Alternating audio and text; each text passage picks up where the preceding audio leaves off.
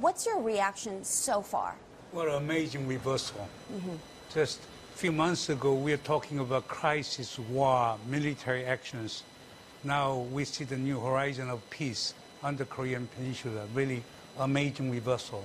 Remarkable turnaround in terms of the mood and what we see in front of cameras. What kind of advices have you been giving to the South Korean president in the lead up to today's summit? No, because I have been telling President, and President himself has been thinking about the importance or primacy of nuclear issue.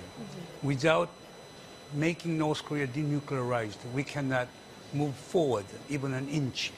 Okay? We are hoping to have a peace settlement and the improvement of inter-Korean relations. They are all tied up to the issue of North Korean uh, nuclear problem. So that's the big goal here, long-term goal perhaps. What do you think? So manage our expectations here. What do you think? Uh, what kind of conversation is happening right now as we speak in in Panmunjom? Uh, right now is lunchtime, Right, uh, but- in the afternoon, I think the, the both leaders will be talking about, you know, denuclearization.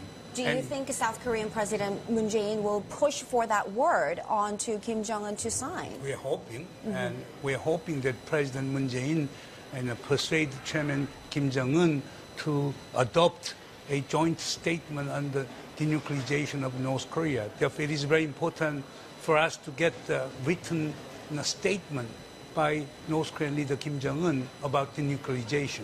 And I just said in my introduction that the North Korean leader Kim Jong un saying that he wants to open a new chapter of peace on the Korean peninsula. What does he mean by that? Do you think he meant denuclearization? No, without making North Korea denuclearized, we cannot open the new chapter of peace on the Korean Peninsula.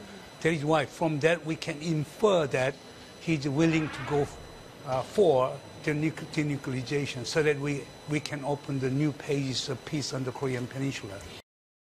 Hey everybody, it's Hadley Gamble from our new CNBC Middle East Bureau in Abu Dhabi. Thanks for stopping by. Now to watch more, you can try one of the videos that just popped up on your screen. And don't forget to subscribe.